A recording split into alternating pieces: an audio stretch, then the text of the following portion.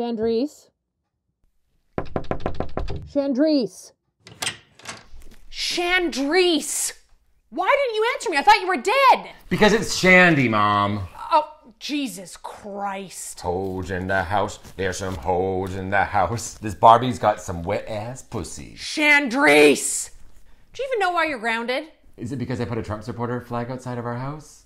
What the hell, Shandi? Mom, Jesus. I'm just kidding. Sick little child. Is it because I had a party with 100 people and nobody wore masks the other night when you were out with your gross boyfriend, Bob?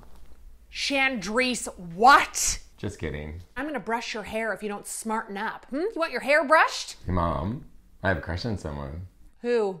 Grandpa's friend George. What? He picked me up from school the other day, and then we went for a ride, which seemed like hours. We stopped at a Arby's, and he bought me burger and ice cream, and then told me I was a good girl. Shandi? And then we drove for even more hours, and we went all the way to his boat. We went skinny dipping, me and George. It was so fun. It was so exhilarating. He's such a good guy. I, I have to call the police. And then he gave me five dollars for my time. I'm calling the police on you. I like that kind of job, Mom. I want to make more money being myself. Shandi, you can't be hanging out with your grandpa's friend George. How do you know when you're pregnant? Why? Because I had a dream last night that I was in an orgy and we were having so much sex. But then I woke up and I couldn't remember if it was a dream or not. Chandrise, I heard something last night. Oh no, Mom. And I won't even know who the dad is. There were so many guys. Shandi, I'm very disappointed in you. Mom, can I tell you something?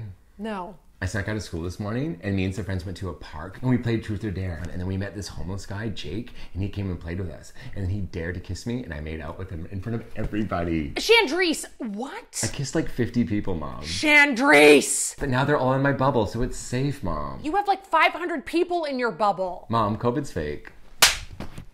Mom, more people die from the flu. Mm. Mom, COVID is a hoax. Chandrise. Chandrise! I told you it's Shandi. I know, Shandi. You tell me that every time. Hey, Mom.